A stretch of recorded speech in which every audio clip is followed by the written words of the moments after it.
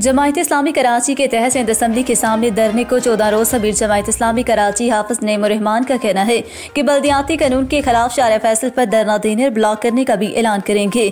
M के M Pakistan ने Sindh assembly के सामने जमायत इस्लामी के धरने की हमायत कर दी।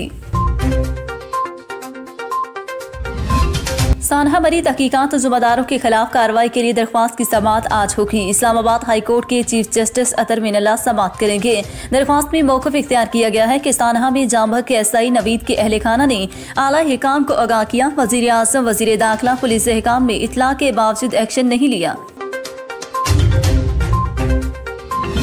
हैदराबाद डंडू इलायात में कच्ची अनाक शराब पीने से हलाक होने वालों की तादाद बारह हो गई। दो अफराद की बेनाई चलेगी डीआईजी हैदराबाद में एसएचए एच ए डंडू जाम को मतल करके लाइन हासिल कर लिया।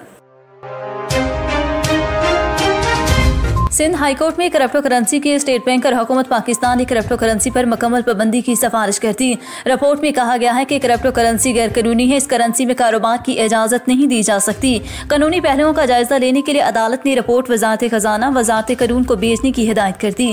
कहा, वजारत खजाना और वजारत कानून तीन माह में हतमी फैसला करें। करेंसी में कारोबार की इजाज़त की सूरत में लीगल फ्रेमवर्क तैयार किया जाए।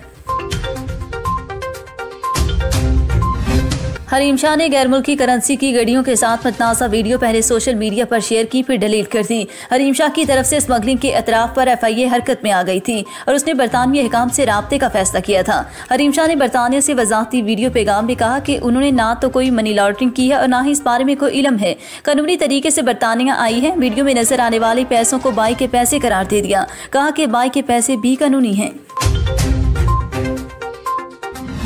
क्याम पाकिस्तान के वक्त बिछड़े वाले दो भाइयों की चौहत्तर बरस बाद करतारपुर में मुलाकात हो गई? फैसलाबाद के सदीक अपने भाई हबीब से मिलने करतारपुर पहुँचे तो दोनों भाई आपस में मिलकर खूब रोए और जफियाँ भी डाली।